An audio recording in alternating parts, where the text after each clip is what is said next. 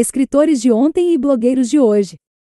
Facilidades e desafios da escrita em tempos de popularização das publicações digitais. Pensava em um espaço pessoal na internet para escrever o que quisesse, quando desejasse e da maneira que achasse melhor. Foi com esse pensamento despretensioso que decidi criar um blog, um blog pessoal. Entretanto, você sabia que o fato de possuir um blog não me fazia um blogueiro propriamente dito? Muito mais do que apenas diários online, os blogs podem ser sites administrados com muito profissionalismo.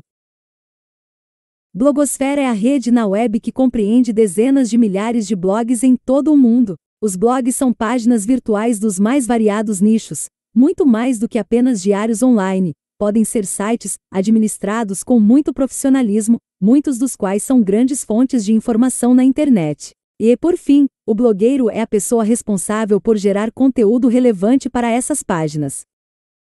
A popularização das mídias digitais criou a necessidade de uma comunicação mais efetiva, ampliando as possibilidades de interação. Dentro dessa tendência de redes sociais, os blogs se apresentaram como alternativas muito eficientes, principalmente pela independência proporcionada, quer seja a leigos ou a profissionais. Profissão blogueiro. O uso dos recursos digitais com a viabilidade de diversas categorizações, que vão desde páginas de usuários comuns às de profissionais especializados, contendo textos, vídeos e ou áudios, apresenta aos internautas uma variedade enorme de assuntos para os quais, conforme gosto e necessidade, sempre haverá utilidade, tornando-se em uma via de mão dupla com os benefícios da interatividade. Tradicionais colunistas da mídia impressa atualizaram-se para o status de blogueiros corporativos. Grandes portais de comunicação têm nos blogs uma extensão profissional para seus colaboradores, que atuam com dinamismo por meio dessas plataformas editoriais, na produção de conteúdo online. Desta forma, tradicionais colunistas da mídia impressa atualizaram-se para o status de blogueiros ao utilizar esta ferramenta, capaz de potencializar o exercício da profissão em um ambiente corporativo virtual.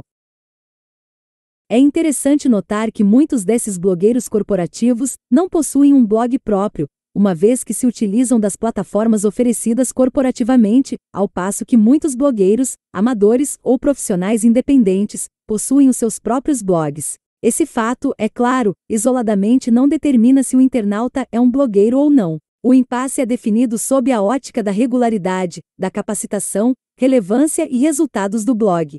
Existe, inclusive, uma grande discussão sobre a polêmica da livre publicação digital e as responsabilidades decorrentes destas. O Marco Civil da Internet é, em resumo, a lei que prevê os direitos e os deveres de todos os usuários da internet no Brasil, com princípios muito pertinentes aos blogueiros. Escriba digital. Há algum tempo eu me lamentava por não produzir o quanto deveria, reconhecia minha indolência digital, e então projetava atualizações mais frequentes nas publicações. Sob o título Confissões de um Escriba Indolente, confessei minha procrastinação e fiz uma autoanálise do meu perfil moroso em escrever. Embora seja bem diferente a realidade hoje, eu continuo diminuto nesta prática, o que me fez retomar o questionamento sobre minha atividade, ou melhor, inatividade. Escrevo apenas quando tenho vontade, sem ser pressionado pela obrigação. Acontece, no entanto, que eu não tinha que me sentir culpado, mesmo porque a minha proposta inicial, especificamente com aquele blog pessoal, sempre foi descomprometida com qualquer regularidade. Antes e agora, manifesto-me apenas quando tenho vontade, sem ser pressionado pela obrigação, e isso depende de fatores diversos que motivam, inspiram ou simplesmente me predispõem à escrita. Concluo, portanto, que é possível ser um blogueiro mesmo sem possuir um blog próprio, e, apesar de possuir uma página na internet, isso não é suficiente para se constituir um blogueiro. A relevância do conteúdo que atrai o público com frequência é um bom indicador que sentencia: possuir um blog é fácil, o difícil é blogar. Evangelho, cultura e comunicação. A sua mídia gospel. Notícias do mundo evangélico, opiniões, devocionais, cultos, louvores, etc. Bênçãos para você.